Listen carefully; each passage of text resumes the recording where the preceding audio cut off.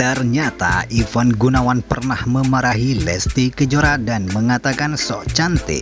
Hal itu diucapkannya setelah Lesti melakukan make up dan tidak sesuai seperti yang diinginkan Ivan Gunawan. Karir Lesti Kejora bisa dibilang makin meroket di industri dangdut tanah air. Hal ini tentu membuat penampilan Lesti Kejora selalu jadi sorotan di berbagai momen.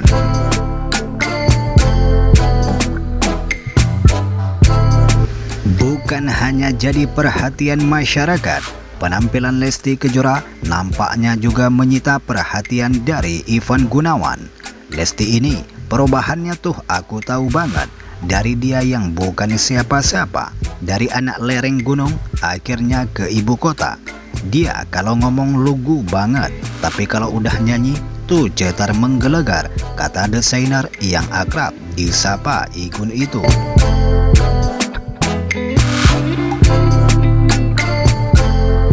Ya, Igun sejak awal telah banyak memberikan nasihat kepada Lesti Kejora soal penampilan. Tapi saya mengembalikan pemikiran tersebut, saya mengembalikan looknya Lesti menjadi looknya dia sebenarnya, ujar Igun.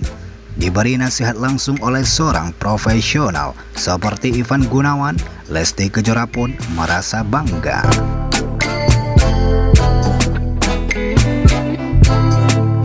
Ivan Gunawan lantas menceritakan momen saat Lesti membuatnya kesal. Tapi ini anak pernah ngalamin sok cantik. Jadi kan udah jadi bintang nih. Udah memang itu pakai make up artis. Make up artisnya itu sok-sok dia pikir muka dia itu Sophia Latjuba. Sok-sok yang kayak soft gitu.